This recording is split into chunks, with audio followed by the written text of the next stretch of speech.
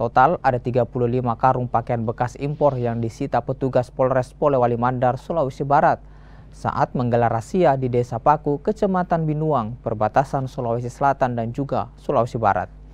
Pakaian bekas ini dibawa dari kota Makassar dan Sidrap yang rencananya akan dijual ke wilayah Polewali Mandar.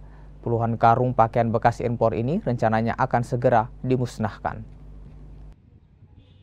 Barang dari Makassar ke Sidrap, Sidrap akan disebarkan dijual di Sulawesi Barat. Kami menangkap pada di wilayah Polman, perbatasan antara Pinrang dan Polewali.